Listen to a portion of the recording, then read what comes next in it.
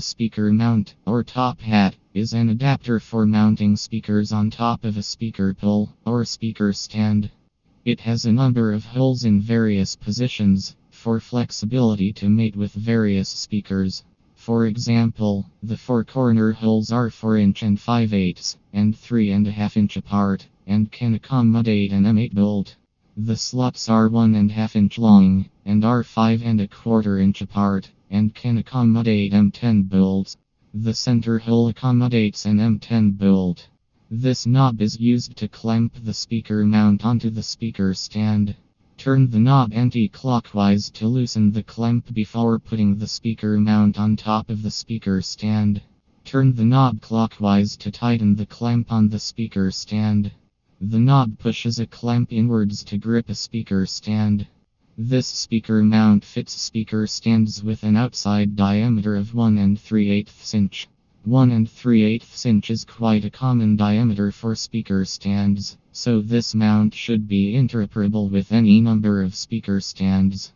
Its solid construction should yield many years of service. For longevity of service, one part should be taken note of carefully. The plastic clamp is missing here. It is not bonded to the speaker mount permanently and may drop out from its position. Without this clamp, the knob will bite into the speaker stand, which cannot be a good thing. The plastic clamp is normally held in place by friction fit. A part of it goes through this hole in the speaker mount. This is the plastic clamp. Note the protruding bit that goes into the hole. If the clamp drops out of the speaker mount, make sure that the protruding bit goes through this hole.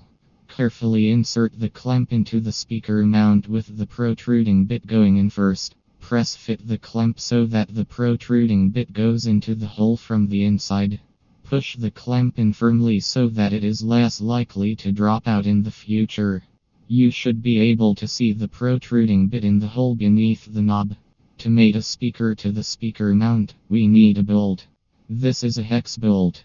Our speaker has a center hole in the base and uses M8 bolt to fasten it to the speaker mount. Since the center hole of the speaker mount accommodates an M10 bolt, the hole is a little too big for an M8 bolt. We can use an M8 bolt provided we use a washer.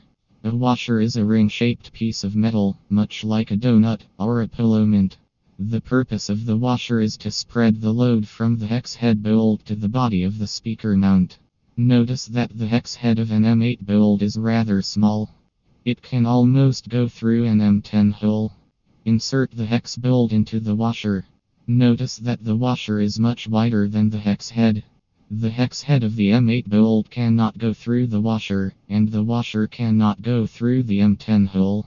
The bolt has to go into the M10 center hole of the speaker mount from the inside of the adapter. This tube is 3 inches deep. So you may need a tool to insert the bolt successfully. Or you may drop the assembly of the bolt and its washer into the center hole of the speaker mount by aiming carefully. The bolt should stick out of the top of the speaker mount, ready to fasten onto a speaker. As the tube is 3 inches deep, you cannot use a spanner or a pair of pliers to turn the hex bolt. Instead, you will need a hex nut driver. This is a hex nut driver. It is long and thin, so it can be inserted into the tube to turn the hex bolt. When bolting the speaker mount to the speaker, do not over tighten the hex bolt, otherwise something may break. Tighten to a snug fit.